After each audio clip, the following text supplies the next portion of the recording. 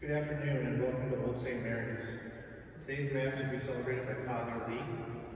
Father Wayne will be our co-celebrant.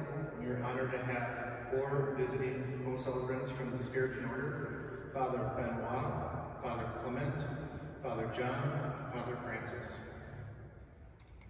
And today I am celebrating the feast of St. Maria de Mattias, Virgin, the founders of the Congregation of the Sisters Of the Blood of Christ. It's a proper feast for the missionaries of the precious blood, of which I happen to be a member. Today is surprisingly surrounded by the Holy Spirit, so this is a very spirit-filled Eucharist. Maria de Mattias was born on February the 4th, 1805 at Vallecorsa in Italy.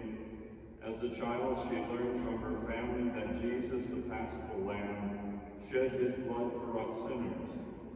During the years of her adolescence, she discovered in the crucified Christ the supreme proof of the infinite love of God for every person. She felt the need to consecrate her whole self to God through the adoration of the mystery of the cross and through service to her brothers and sisters. Inspired by St. Gaspar del Bufalo, founder of the Missionaries of the Most Precious Blood, and guided by Venerable Giovanni Merlini III, Moderator General of our congregation, Maria discovered that God had a great plan for her. On March the 4th, 1834, at Acuto, she founded the Congregation of the Adorers of the Blood of Christ to collaborate in the work of the world's redemption.